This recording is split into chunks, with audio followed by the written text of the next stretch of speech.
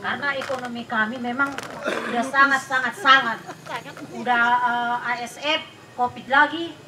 Kayak mana menyekolahkan anak lagi? Ke dapur pun udah kurang.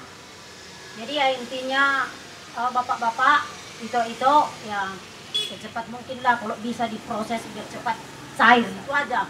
Ibu waktu itu mati babinya berapa ekor? 70 Banyak mati. 70 ekor sampaikan ke gubernur. Nah, kalau mau ngambil Enggak, enggak pakai jeda hari itu, langsung satu hari itu berapa? seminggu. seminggu lah Seminggu jangka. mati mati lima mati. Udah kita kematian babi bayar lagi kuburnya. Dua ratus ribu. 100 tepat kan? 100 per ekor. Dua ratus jadi 70 ekor. Enggak ada yang mau makan ya? Siapa mau makan kita kan kan nggak Nggak ada. Lain juga kebetulan lokasi kita ini ya dikubur lah semua Lain Ya, ada penyakit kawan media dulu. nanya enam bro di mana alamatnya Jalan Bunga Jalan Bunga Rampe Raya, jalan bunga rampe raya? Kelurahan Sibaling Karte, nomor 99. siapa tadi Kelurahan Medan eh Kecamatan Medan Tujuan. siapa? Maria Margo Rismaria Martin. iya Oke. itulah makasih pak ada yang lain ada yang lain Atau mungkin boleh saya bertanya, apakah eh, karena kan kondisinya tadi kan sudah 70 ekor yang sudah meninggal, apakah ibu masih punya ternak babi hari ini yang masih dipelihara? masih Oh masih ya. ya Sekarang berapa lagi? berapa pak Ada 25 ekor. Oh ada sekitar 25 o- 25 ekor ya. Enggak, itu kan yang agak besar jumlahnya. Yang ibu-ibu ini ada yang ternak kecil enggak? yang kami punya itu mati timbang-timbang 100 paling kecil 150 paling berat 170 yang lain yang lain yang lain Ya. Iya, ada yang mandala ini. ya ini mandala. Dari mandala. Dulu. Yang mandala dulu, mandala. Iya. Enggak berapa? Enggak apa-apa, Ibu. ini dari apa? Dari Serdang lah Eh, kalau kami dari dari Serdang karena kebetulan kita juga IB jadi yang mati babi kita itu kami perkirakan juga hampir lebih kurang 70 itu induk sama pejantan jadi kalau kita bilang mau dijual pun jantan beratnya 400 kilo lebih kurang satu ekor kan nggak ada yang terima jadi kok sekarang ini pun dibilang mau mulai ekonomi dari dasar itunya cuma penghasilan kita dari mana lagi kita ambil gitu jadi ya mintalah sama pemerintah juga kalau bisa ya tolonglah masyarakat kecil. Kira-kira ibu, ibu-ibu waktu itu ikut demo ke DPRD itu yang besar itu maunya apa sih waktu itu terpikir dalam eh, makanya jadi ikut kan? Kan ikut demo nih, Ya, ya. yang save babi itu. Pikirannya waktu itu apa? Pikiran kita saat itu enggaknya terlalu banyak sebenarnya adalah maunya perhatian pemerintah sama kita masyarakat kecil ini kayak yang kita bilang tadi Pak maunya ya nggak perlu banyak-banyak ya satu kilo beras lah yang penting kita ini dianggap sebagai masyarakat Indonesia yang masih ada Sampai hari ini belum dapat? belum pernah Pak Nggak ada nggak ada pendataan gitu datangin kalau ibu cuma butuh ini ini. nggak ada Pak Mandala juga sama. Pak Erikin yang mendatang Ah, nama saya Hok Darwin Lubis dari Kelurahan Tegalsari Mandala 2, Kecamatan Medan Denai. Sejak berdatangnya ah, penyakit babi ini, kalau babi kami banyak yang mati, apalagi warga-warga yang di Kelurahan Tegalsari Mandala 2 itu setiap hari ada yang mati setiap hari 100 setiap hari berarti penduduk Mandala itu kelurahan Tegalsari Mandala 2 itu yang beternak itu ada sekisar 2500 kakak. Dari 2500 kakak itu kami pertimbangkan di, ada mati setiap hari 100 itu dibuang ke sungai Dene semua dibuang ke sungai Dene dan sebagian menanam karena apa? karena uangnya untuk menanam ternak babi itu nggak ada tempat menanam pun tidak ada. Jadi kami mengharapkan kepada Bapak Gubernur Sumatera Utara agar kami peternak-peternak babi ini diperhatikan sedikitlah. Kenapa Bapak Gubernur bisa menca- mencairkan UKM? Kami ini kan warga Bapak juga, Bapak Gubernur. Kami perlu dibantu, kami perlu diperhatikan. Banyak anak kami yang putus sekolah karena tidak adalah pencarian kami yang layak lagi. Untuk peternak babi kami pun untuk menghasilkan uang anak sekolah kami sampai sekarang kami sudah tertunda sampai enam bulan uang sekolah. disebabkan dari sekolah pun kami harus membeli paket belajar anak sekolah. Ditambah lagi corona ini. Kami sangat menderita sekali. Kami mohon kepada Bapak Gubernur Sumatera Utara perhatikanlah rakyatmu ini. Kalau kamu menganggap kami Bapak anak kami kami menganggap Bapak. Bapak Gubernur tolonglah perhatikan. Khususnya kami yang beternak babi yang ada di Sumatera Utara. Itulah dulu keluhan kami dari Kelurahan Tegal Sari Mandala 2 Kecamatan Medan Denai agar kami beternak babi ini diperhatikan sebetul-betulnya. Terima kasih. Ya, baik.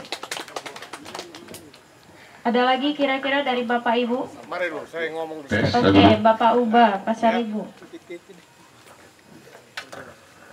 Uh, baik, uh, Bapak Ibu, malam ini juga saya akan sampaikan sedikit ya bagaimana polemik di masyarakat atas kematian daripada babi ya.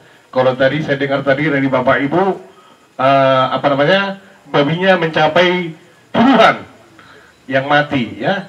Kalau yang saya tangani ini rata-rata teman-teman saya kebetulan saya seorang pemulung ya. Artinya kami memelihara babi dua-dua ekor saja yang mampu sampai lima ekor artinya sambil kami membutuh cari nasbus itu kami buat. Itu tabungan merupakan tabungan. Kalau bapak ibu mungkin barangkali uh, masih ada simpan-simpanan. Kalau teman-teman saya dampingi ini kadang-kadang mau saya bilang begini ya Tuhan jangan panggil dulu mereka. Kenapa? Saya sudah santuni mereka. Kalau kemarin namang sudah ngomong ada PBU ya itu dari segi administrasi pembayaran BPJS ya.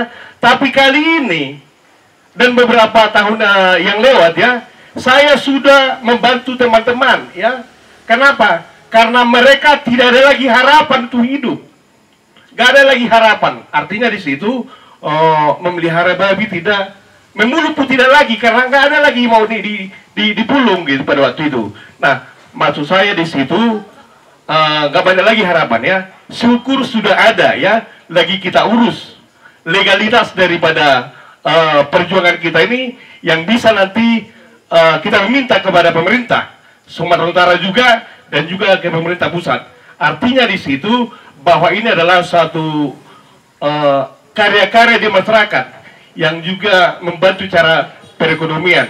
Boleh kita tinjau atau Bapak Ibu sekalian tinjau mari bersama saya di mana teman-teman seperti kata Pak Bini tadi eh, anak-anak uh, yang sudah resmi ya sudah resmi penyandang putus sekolah ya. Bukan hanya penyandang putus sekolah bahkan teman-teman saya yang lain yang sambil memulung dalam beternak sudah terancam gurung tikar ya. Dalam arti mereka tidak lagi punya pencaharian. Bahkan saya dulu sudah terancam. Oleh karena itu yang saya maksud di, di apa namanya di kelompok kita ini mari kita satukan gerakan ya. Bagaimana kalau saudara tadi nanti legalitasnya itu merupakan landasan kita berjuang. Ya itu harapan saya ya dari seorang pemulung. Oke terima kasih selamat malam. Ya baik terima kasih kepada Bapak Uba. Uh, apakah ada lagi dari Bapak Ibu yang ingin menyampaikan? Ya Uh, karena diskusi kita juga sudah sangat panjang, ya. uh, kita juga harus memperhatikan protokol kesehatan. Artinya juga ini Bapak Ibu uh, pasti yang sangat rentan untuk uh, terkena COVID harus tetap menjaga, saling menjaga ya. Nah mungkin tadi sudah beberapa pesan yang sudah disampaikan dan juga uh, kita sudah membuka cakrawala pemikiran, bahkan juga untuk memberikan masukan dan juga diskusi kita pada malam hari ini.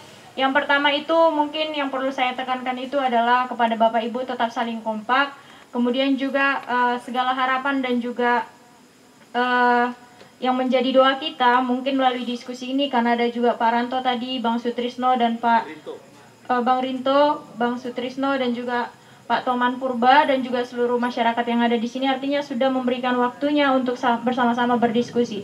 Jangan lengah, jangan lelah. Kemudian juga uh, ya pasti harapan uh, Bapak Ibu yang ada di sini. Kami ini adalah anak-anak yang mungkin uh, turut juga merasakan apa yang menjadi beban dan juga uh, yang dirasakan lah oleh Bapak Ibu. Karena di kampung kami juga masih banyak yang seperti ini kan, seperti itu dia. Jadi tidak jauh berbeda, kehidupan kita masih berkelanjutan.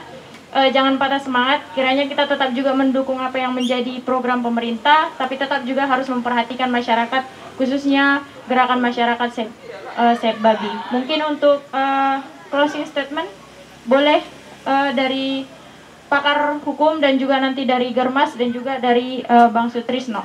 Mungkin melalui uh, ketua, ketua Toman Purba, kita berikan waktu dan kesempatannya untuk closing statement.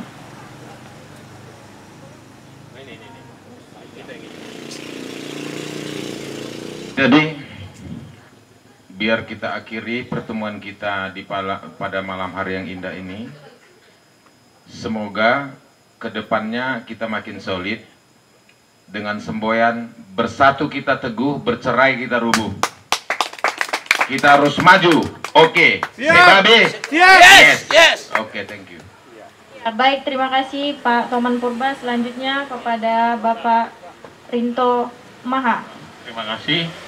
Uh, close, closing statement saya ini uh, ke depan kalau bisa kita sama-sama masukkan uh, usulan anggaran di tadi di Bapeda lalu buat audiensi juga dengan Pak Didi Ramayadi, Gubernur, ya dan untuk tadi jawaban uh, Pak pertanyaan Pak uh, Ginting tidak perlu ada gugat menggugat karena itu muaranya panjang gitu, uh, jadi nggak perlu ada itu karena itu bukan satu keputusan tata usaha negara yang menjadi objek sengketa.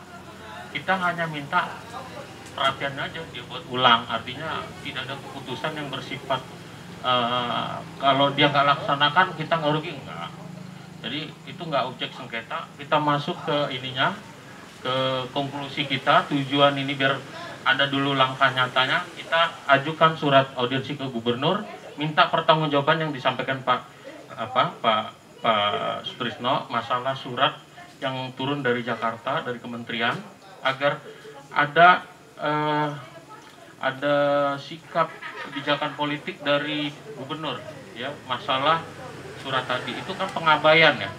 Terus yang kedua masukin surat kita. Kita masuk utus berapa orang dan siapkan